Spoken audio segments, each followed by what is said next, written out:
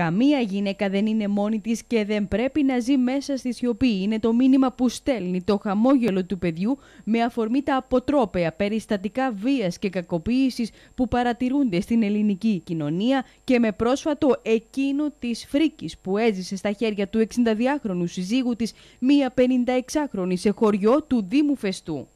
Ειδικά εδώ στην Κρήτη τα περιστατικά είναι πολλά. Ε, μένουν πίσω από κλειστές πόρτες. Ε, κάνουμε καθημερινά αγώνα, τουλάχιστον για την ενημέρωση των παιδιών, των εκπαιδευτικών, των γονέων, ε, για να μπορούν να βρουν το θάρρος και τη δύναμη, γιατί πραγματικά χρειάζεται θάρρος και δύναμη να μπορέσει ένας πιο αδύναμος άνθρωπος που έχει κακοποιηθεί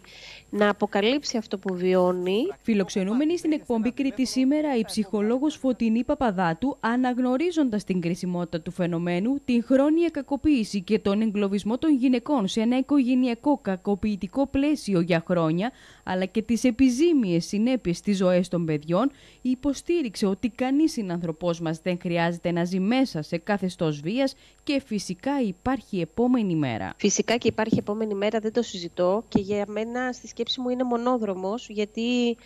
ε, όσο περισσότερο εγκαθιδρύεται ε, αυτή η συμπεριφορά βίας ε, γίνεται όλο και πιο επικίνδυνη. Το χαμόγελο του παιδιού αξίζει να σημειωθεί ότι παρέχει υποστήριξη και φροντίδα σε γυναίκες και παιδιά θύματα ενδοοικογενειακής βίας διαθέτοντας συγκεκριμένες υπηρεσίες 365